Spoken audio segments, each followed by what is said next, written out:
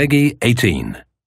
In case you missed the news, we headed to E3 to show you guys a bit more of the division, and to celebrate, we thought it would be cool if we could morph this Q&A into something a little bit more special. So, this month we have questions all the way from the Netherlands, from the USA, and from Sweden, which to be fair, isn't all that far away.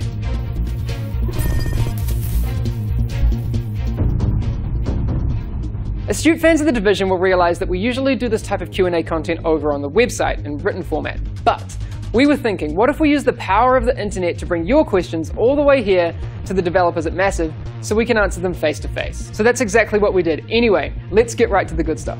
At the end of the most recent E3 gameplay trailer, the big elite guy drops some loot on the floor, which is then indicated with a big orange marker.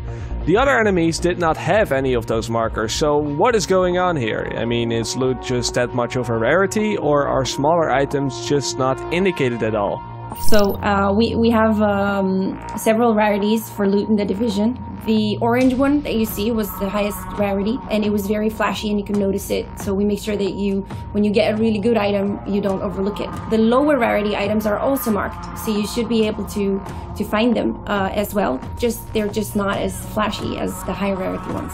Also, not all kills grant loot, so uh, that's why you couldn't see it after each kill in the demo encounter. Hey Marco, dat was een goede vraag over loot. Zie je later. So apart from customizable weapons and alternate skills, what else are you doing to make the characters feel unique in the world? Thanks, appreciate it. So we have a good system in place where we can actually customize uh, regions of our gear.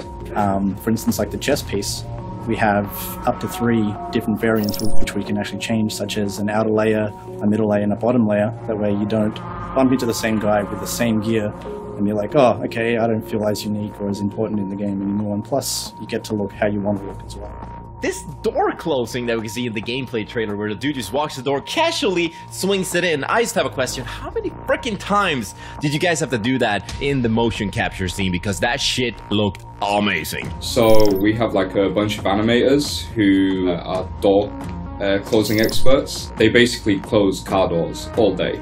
Uh, just for this one uh, animation, but obviously you're going to be able to do this on a lot of different cars in New York. We weren't getting the correct results with the Swedish car doors, so it's pretty important that we went and got authentic New York car doors.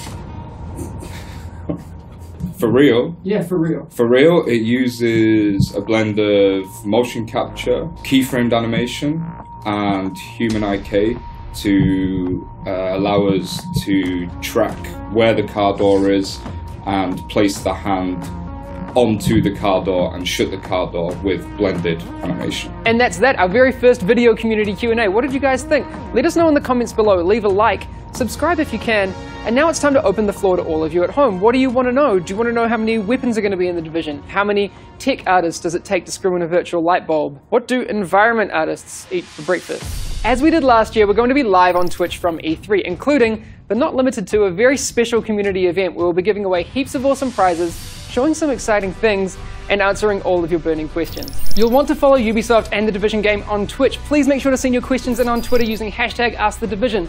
You'll also find us on Facebook, our official forums, The Division subreddit, and as we've shown, you can send your video messages in to The Division game on Skype. Please keep your questions to about 30 seconds or less. Let us know who you are, where you're from, and we'll do our best to include you in our upcoming Q&A at E3. Okay, we'll see you soon.